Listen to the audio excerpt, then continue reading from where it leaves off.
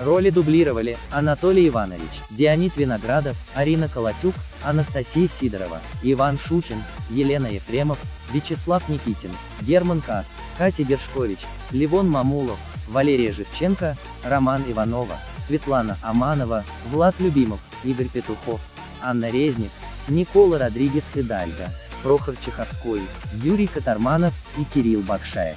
Режиссер дубляжа Макс Ман. Сорежиссер Никита Мауров. Озвучено на студии Amedia Studio по заказу Вайрата Films в 2024 году.